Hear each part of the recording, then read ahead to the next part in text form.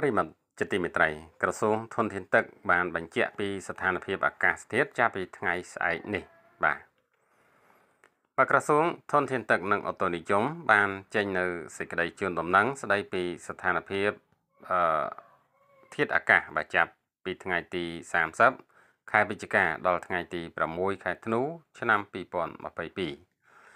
មកក្រសួងបានបញ្ជាក់ថាចាប់ពីថ្ងៃទី30ខែវិច្ឆិកាដល់ថ្ងៃទី2 ខែធ្នូទទួលរងនៅអតិពលខ្សោយពីត្រណុងសម្ពាធខ្ពស់បាទបន្តពីថ្ងៃទី3បាទដល់ថ្ងៃទី6ខែធ្នូបាទទទួលរងនៅអតិពលពីការប្រសពគ្នារវាងជ្រលងនៃសម្ពាធទាបរុញចូលពីសមុទ្រចិនខាងត្បូង និងត្រនងសម្ពាធខ្ពស់ពីខ្ពង់រាបភាគឦសានបាទស្ថានភាពបែបនេះបាទនឹងធ្វើឲ្យតំបន់ទំនាបកណ្ដាលបាទចាប់ពីថ្ងៃទី30 ខែវិច្ឆិកាដល់ថ្ងៃទី2ខែធ្នូ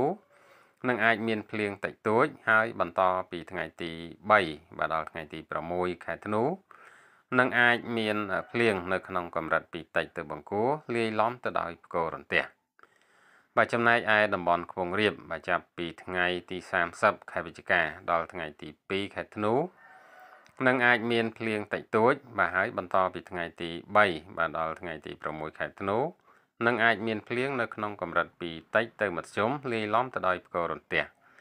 បាទទន្ទឹមនឹងនោះតំបន់មាត់សមុទ្របាទនឹងអាចមានភ្លៀងនៅក្នុងកម្រិតពីតិចទៅបង្គួរលាយឡំទៅដោយផ្គររន្ទះផងដែរបាទបាទអរគុណសម្រាប់ការចូលរួមទេសនារបស់ប្រិយមិត្តពុកម៉ែបងប្អូនបាទហើយសម្រាប់អត្ថបទនេះគឺបញ្ចប់ត្រឹមតែប៉ុណ្ណឹងបាទសូមជម្រាបលាជួបគ្នានៅវីដេអូក្រោយៗទៀតបាទ